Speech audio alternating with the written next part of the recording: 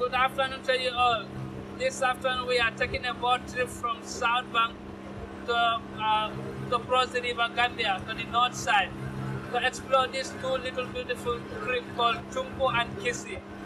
And the bird we can see there are Pel's fishing owl, white-backed night heron, white-crested tiger heron, blue-breasted kingfisher, malachite kingfisher, African finfoot, fairy blue flycatcher, and many more.